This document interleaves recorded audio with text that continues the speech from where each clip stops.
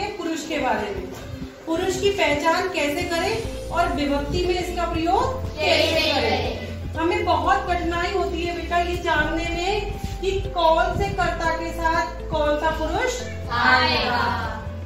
धातु की कौन सा पुरुष की कौन सी विभक्ति का प्रयोग हम करना है, आज हम इसके बारे में सीखेंगे।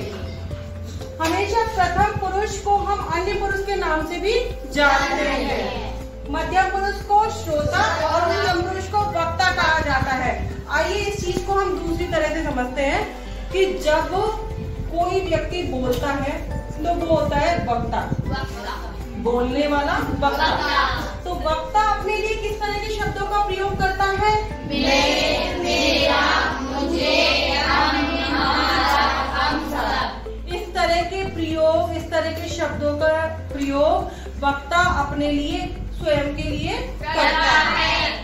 तो जो वक्ता होता है वो हमेशा उत्तम पुरुष में आता है। वक्ता के साथ हम उत्तम पुरुष का प्रयोग करते हैं। उसी तरह श्रोता के लिए हम ऐसे शब्दों को जो सुनने वाला है हमारे सामने उसके लिए हम कैसे शब्दों का प्रयोग करेंगे?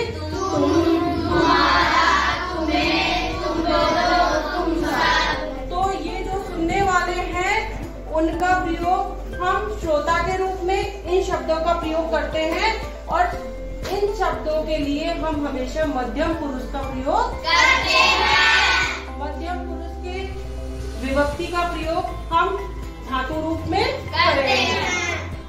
अब समझते हैं प्रथम पुरुष के बारे में। वक्ता बोल रहा है और श्रोता सुन रहा है। परंतु वो वार्ता कर रहे हैं किसी अन्य के बारे में जो उनके बीच में उपस्थित नहीं है। नहीं है वह हुआ अन्य पुरुष। उसे हम क्या कहेंगे? अन्य पुरुष। के लिए हम प्रयोग करेंगे वह और भी ऐसे बहुत सारे शब्द। तो जो व्यक्ति हमारे बीच में नहीं है और जिसके बीच में बा, जिसके बारे में बातें की जा रही है जिसके बारे में वार्ता चल रही है उसके लिए हमेशा अन्य पुरुष का प्रयोग एक और आसान तरीके से समझते हैं और एक गतिविधि करते हैं। देखो बच्चों अब हम समझते हैं बहुत आसान तरीके से इस चीज़ को। ये है दिव्यांशी सभी जानते हो उसे? ये है सरोज। ये दोनों आपस में बातें कर रही हैं और बातें कर रही हैं किरण के बारे में। अब तुम मान लो कि किरण हमारे बीच में नहीं है। बेटा हम बाहर चले जाओ। तो किरण हमारे बीच में नहीं है। अब दिव्यांशी कुछ बातें करेंगी कुछ शब्द बोलेगी उसमें तुम्हें पहचानना है कि वो मध्यम पुरुष का प्रयोग कर रही है उत्तम पुरुष का प्रयोग कर रही है या प्रथम पुरुष का प्रयोग कर रही है। तो चलिए शुरू करते हैं। दिव्यांशी शुरू करो बेटा। किरण ने अपना गृह कार्य पूरा नहीं किया यह किरण ने मुझे बताया। अब तुम्हें क्या लगता है इसने जिस वाक्य को बोला है उस वाक्य में धातु रूप में हम कौन से पुरुष का प्रयोग करेंगे? किस पुरुष का प्रयोग करेंगे? क्योंकि जिस किरण के बारे में ये दोनों बातें कर रही है वो किरण हमारे बीच में परंतु उसके बारे में बातें हो रही है।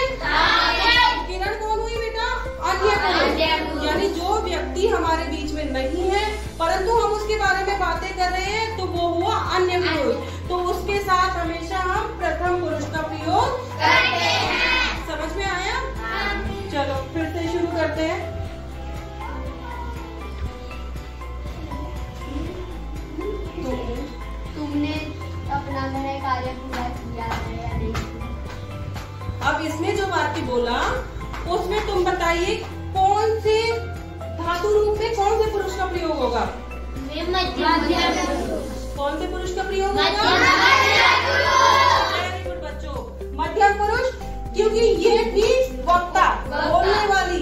और इसलिए बोला था सुनने वाले। के लिए कि तुमने अपना गृह कार्य पूरा किया है तो इस वाक्य में मध्यम पुरुष का प्रयोग होगा।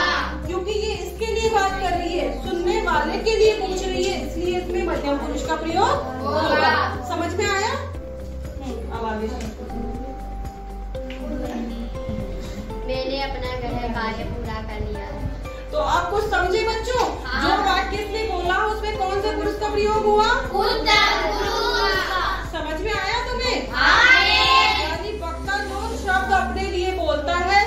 के लिए बोलता है, उसमें हमेशा उत्तम पुरुष का धातु रूप में उत्तम पुरुष का प्रयोग होता है। और जो वक्ता श्रोता के लिए कहता है, उसमें मध्यम पुरुष का प्रयोग होता है। और जब वक्ता और श्रोता किसी अन्य पुरुष के बारे में बातें करते हैं जो हमारे बीच में उपस्थित नहीं है तो उसके लिए हमेशा प्रथम पुरुष का प्रयोग होता है। तो समझे पुरुष